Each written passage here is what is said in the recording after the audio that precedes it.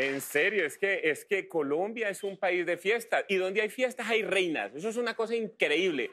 Usted abre la nevera y de lo que haya en la nevera ahí hay una reina. En serio, está la reina de la papaya. hay varias reinas que dan No, en serio, no, no, en serio. Está, por ejemplo, la reina de la yuca, la reina del aguacate, la reina de la arepa. ¿Con qué criterio evalúan? No sé, pero está la, la reina de la arepa. La que sí no se podría sería la reina de los huevos. No. No, porque queda muy maluco uno decir, ahí vienen mis huevos. No, no, no, en serio no. No se puede. No se puede. Exceptuando la señorita España, no se puede. No se... Estamos eh, eh, en plena feria de Cali en este momento. Yo termino esta rutina y ahí mismo me voy para allá. La feria de Cali donde están las mujeres más bellas.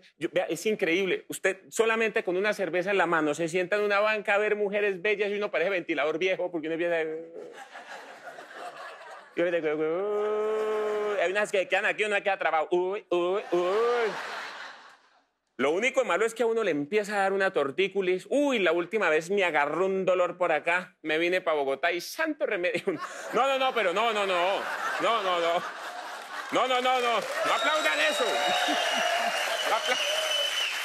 Yo lo digo, yo lo digo es porque en Bogotá no hay ferias, es por eso. Pues está la feria del libro, pero eso no cuenta. No, no, no. Es la feria del libro, compre una García Márquez. Oh, oh, no, no, no. Luego viene eh, las fiestas en Pasto, Carnaval de Blancos y Negros, que eso es una maravilla. Es una maravilla. El día de los blancos uno queda pintadito de blanco. Mejor dicho, Chester es afrodescendiente al lado de... ¿Verdad? Uno queda... Porque el pastuso es muy educado cuando va a echar la primera pintica mientras está en sano juicio. Dijo, ah, la pintica. Dijo, ¿no, mijito? Dejará de untar la pintica, dijo, ¿no? Pero ya el pastuso borracho, eso queda un untado en serio. Eso viene hasta con examen de próstata en serio. Eso no... No se lo recomiendo, espere. en serio, vea, las pastusas también son muy hermosas. Desde mi experiencia lo digo, desde mi son muy lindas, pero el acento les mata un poquito la pasión.